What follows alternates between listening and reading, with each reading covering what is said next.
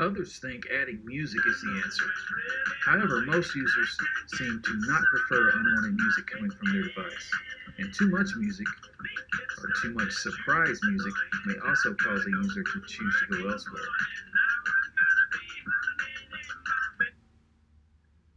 Fortunately, there are many ways to increase interactivity. For example, let's take a look at an interactive site that I found recently. It's called Starbucks Coffee at Home. Lots of interactivity with the site, but I thought this quiz option was really cool. It starts with, how would you describe yourself? Let's go with bold and complex.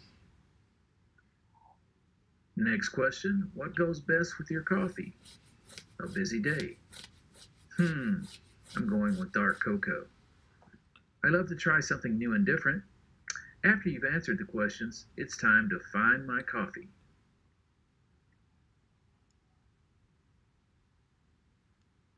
Looks like the site says we recommend Morning Joe, but I'm going for dark roast and twice the caffeine. So as you can see, this type of quiz is a great way to engage the user. It keeps them entertained, but more importantly, it keeps them on the site. This way they get to be introduced to different products that they can eventually purchase. Thank you.